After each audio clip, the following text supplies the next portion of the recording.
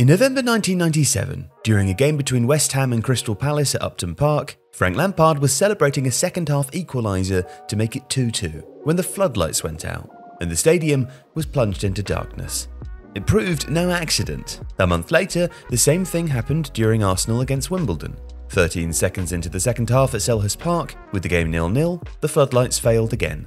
It was a plot run by an Asian betting syndicate, who were profiting from local rules which stated that if a second half of a game had begun, the result at the time of any abandonment would stand.